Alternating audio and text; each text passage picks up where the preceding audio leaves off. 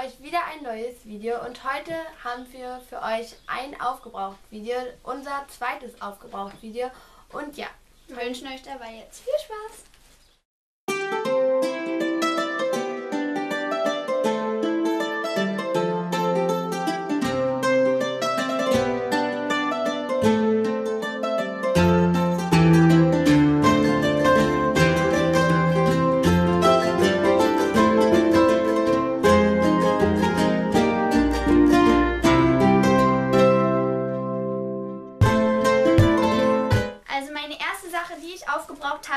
Von Schauma das silikonfreie Shampoo mit diesem blauen Deckel. Ähm, das ist also ein Pflegeshampoo und damit war ich auch sehr, sehr zufrieden. Also das, der Geruch ist auch sehr, sehr gut und ähm, das kann ich eigentlich auch nur empfehlen und deswegen habe ich äh, das gesagt, mache ich das einfach in mein Aufgebraucht-Video.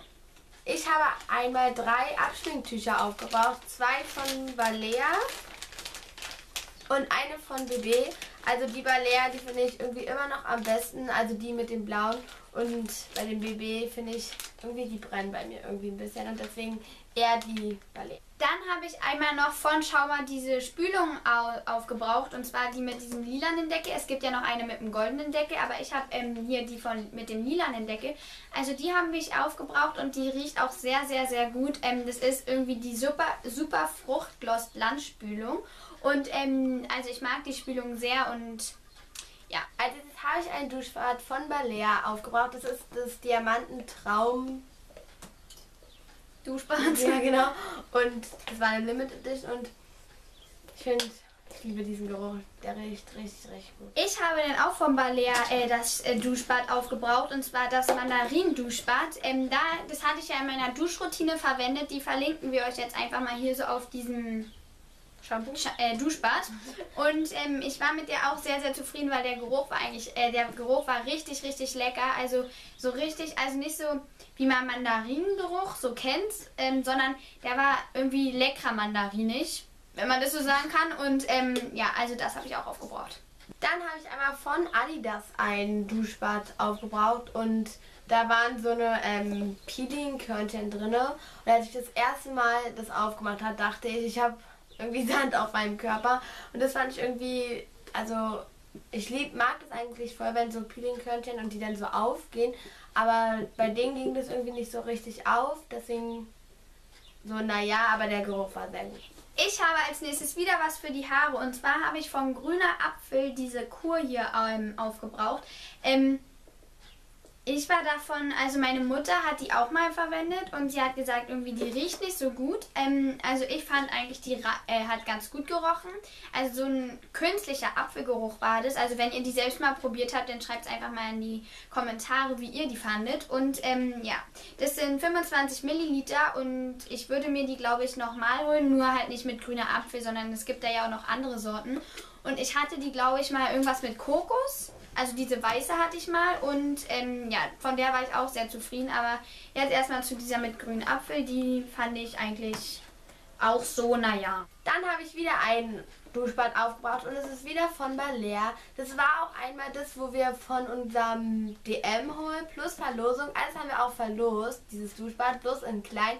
Und Happy Butterfly hat es ja gewonnen. Ja, du kannst ja mal schreiben, wie du das fandest. Äh, also ich fand das eigentlich, es ging so, also der Geruch ist irgendwie so gewöhnungsdürftig, aber ja, er hat ganz gut gerochen. Mein nächstes Produkt ist mal wieder ein Shampoo und zwar das von Cien. Ich glaube, das ist die Eigenmarke von Lidl. Ich bin mir aber nicht mehr so sicher. Ihr könnt es mal in die Kommentare schreiben, falls ihr das wisst. Und ähm, mit dem, diesem Produkt war ich auch, also von diesem Produkt war ich auch sehr begeistert.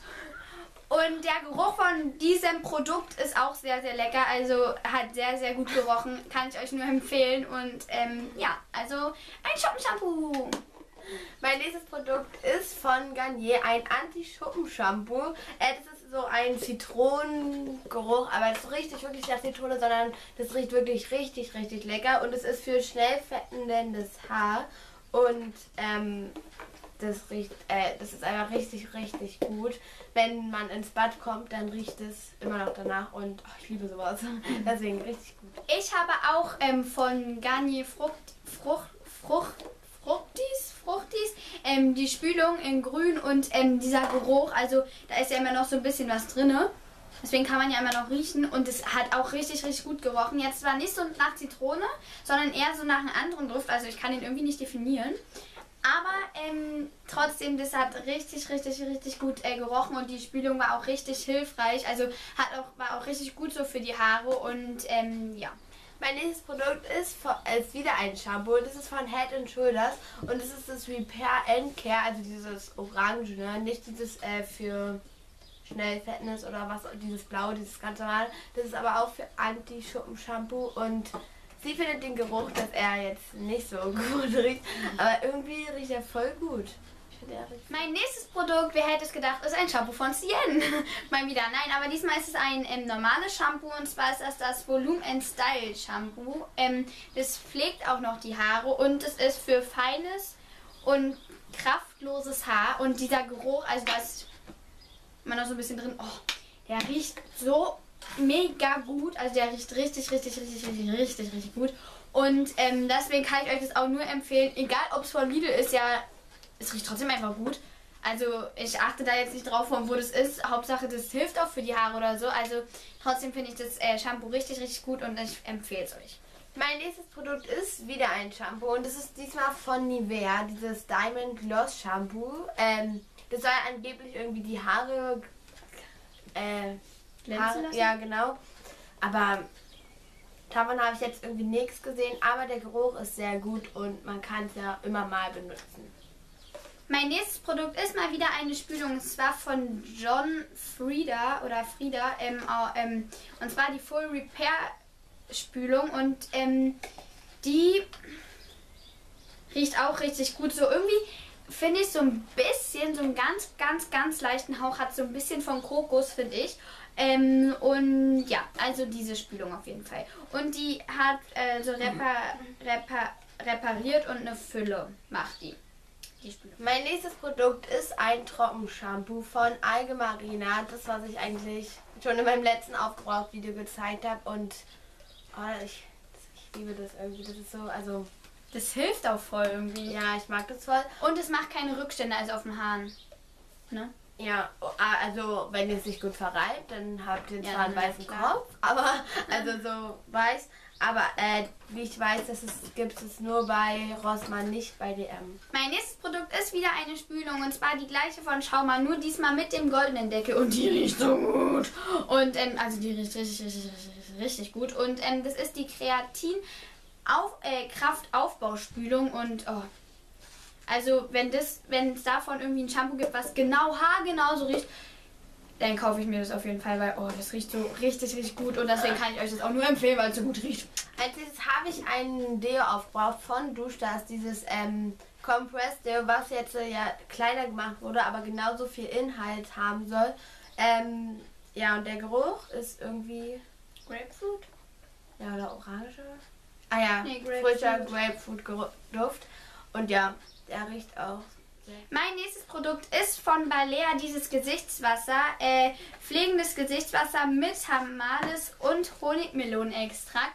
Und es ist für trockene und sensible Haut. Und ähm, ich habe das eigentlich immer nicht so verwendet, weil ähm, irgendwie hat es bei mir nicht so viel geholfen, aber ich habe mir das dann irgendwann, habe ich das halt mal aufgebraucht, weil es, äh, dass es dann nicht die ganze Zeit so rumsteht und ähm, ja, also dieses Gesichtswasser.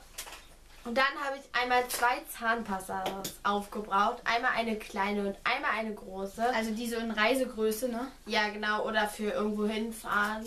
Also. Ja, Reisegröße. Ja. Und ja, die sind halt richtig Mein nächstes Produkt ist wieder eine Spülung. Also wie ihr merkt, verwende ich sehr, sehr viel Spülung für meine Haare. Ähm, aber egal, also das ist jetzt die, die ihr auch bei mir im Duschvideo gesehen habt. Und zwar die ähm, von Edeka, die Provi Provitamin B5 Haarkur äh, Color. Äh, mit Sofortglanz, äh, mit Sofortglanzkomplex und UV-Filtern. Ähm, also die, von der war ich eigentlich auch sehr zufrieden. Obwohl die von Edeka ist, war die eigentlich richtig, trotzdem richtig, richtig gut. Und ähm, deswegen habe ich die auch in mein Aufgebraucht-Lied. Als nächstes habe ich von Evelyn einmal Wartepads und einmal äh, Wartestäbchen aufgebraucht. Einmal wo 160 drin sind und einmal wo 70 Wartepads drin sind. Und ja, was soll man dazu sagen? Jetzt habe ich als nächstes drei Sachen, die halt alles drei für Augen zu äh, also zu Augen passen. Deswegen habe ich die gedacht, mache ich die einfach. Und zwar ist es einmal von Kiko der Natural Natural Concealer in der Farbe 02. Ähm, der war sehr sehr gut, aber was ich irgendwie an dem so ein bisschen blöd fand, also der hatte so ein bisschen orangestichig. Das fand ich jetzt nicht schlimm, aber man hat den zum Beispiel, ich habe den jetzt so drauf gemacht, also unten und oben mache ich das immer und halt auf Mitesser oder so, wo man Unreinheiten hat, mache ich das immer rauf und verblende das entweder mit meinem Beauty, Beauty, Blender oder mit meinem ähm, Foundation Pinsel. Und deswegen, wenn man dann zum Beispiel zu lange damit gewartet hat, ähm, ist es halt schon so eingetrocknet, dann hatte man da so Flecken drauf. Also das fand ich nicht so gut, aber trotzdem war ich von dem wirklich sehr, sehr zufrieden. Mein zweites ist von Essence eine ein Eyeshadow, Eyeshadow Top Coat. Das ist so ein ähm, also das ist die Farbe 02 All Eyes on You. Also das ist so ein Glitzer. Also das macht man sich einfach auf das Auge und dann glitzert das so wie so ein bisschen, wie nennt man das, eine Eyeshadow Base. Nur halt, dass es glitzert und das habe ich nicht so oft verwendet, aber trotzdem ist das irgendwie alle gegangen. Und ähm, ja, also und das letzte von den Augen ist von Yves Rocher so eine glitzernde Wimperntusche. Ähm, ähm, einfach falls man irgendwie, keine Ahnung, zu Fasching oder sowas, ein- einfach falls man irgendwie ein bisschen Glitzer auf den Wimpern haben will, habe ich mir die einfach aufgemacht und die habe ich dann auch aufgebraucht. Und ähm, war halt wirklich sehr, sehr glitzerig. Also man hat, wenn jemand, also das glitzert, ich weiß nicht, ob ihr das jetzt kenn, erkennen könnt. Also ich habe da jetzt ein bisschen was rausgemacht und dann erkennt man das so. Und ähm, ja, von dem war ich eigentlich auch sehr, sehr zufrieden. Also wenn man das für Fasching oder sowas nimmt. Und ähm, ja, das waren meine drei Sachen für die Augen. Als nächstes habe ich von Balea eine Creme aufgebraucht, eine 24 Wohlfühlcreme, die ich eigentlich immer bei der, also wenn ich schlafen gegangen bin, drauf gemacht habe und die riecht. Richtig, also ich habe die eine lange Zeit irgendwie gar nicht benutzt und dann irgendwie doch wieder benutzt und ja, jetzt ist sie alle gegangen und die gibt es leider nicht mehr. Mein nächstes Produkt ist ein Lipgloss. Also das ist nicht von irgendeiner Marke oder so ein Lipgloss, sondern von einer Zeitung, weil die habe ich mal von meinem Papa bekommen. Und ähm, deswegen, ähm, aber der war eigentlich voll schön, der Lipgloss. Also ja, das sieht zwar jetzt noch so aus, als wäre hier noch was drin, aber ist leider nicht mehr so. Also es trocknet sehr, also der ist so ein bisschen sehr ausgetrocknet. Und ähm, das wäre ein Cherry Lipgloss gewesen, also mit Kirschgeschmack. Und ähm, ja, das war jetzt eigentlich das zu dem Lipgloss. Als nächstes habe ich einen Concealer aufgebraucht von P2, der soll irgendwie viel Concealer heißen, in der Farbe, in der Nummer 010 und Den hat sie eigentlich immer. Also zu Hause hat sie davon eh noch, äh, keine Ahnung, noch ja, eine zwei. Oder zwei.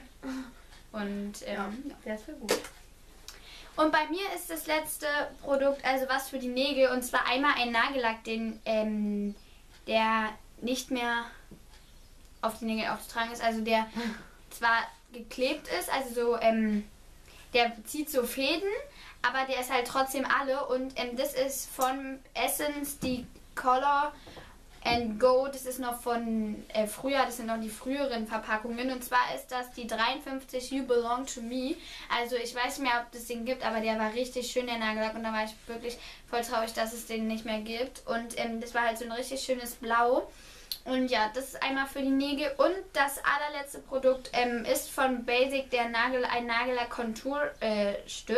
Und da waren halt hier hinten so eine, so eine drei Aus, Austauschköpfe und vorne war dann halt auch nochmal eins drin. Also da waren dann vier so eine Köpfe drin und also wenn man das so nennen kann. Und ähm, die waren auch sehr, sehr, sehr, sehr gut. Also wenn es irgendwo Basic, ich glaube beim Schlecker gab es nur Basic, aber wenn irgendwo nochmal Basic gibt und es den nochmal gibt, dann würde ich mir den, glaube ich, normal holen. Und ähm, ja, das waren die letzten Sachen von unserem Aufgebraucht-Video. Ähm, wir hoffen, dieses Aufgebraucht-Video hat euch gefallen. Wir verlinken euch hier oben mal unser letztes Aufgebraucht-Video. Dann hier unten unser letztes Video. Hier bei ihr steht dann unser Insta äh, Instagram-Name. Und ja, wir freuen uns auf jeden Follower bei Instagram. Anna hat uns gefragt, ob wir sie mal grüßen. Und zwar unter dem Namen Mia, glaube ich. Und deswegen grüßen wir dich jetzt hier mit Hallo Mia. Hallo. Und ähm, ja, das war jetzt so unser Video. Wir hoffen, euch hat es euch gefallen. Und deswegen sagen wir Tschüss. Tschüss.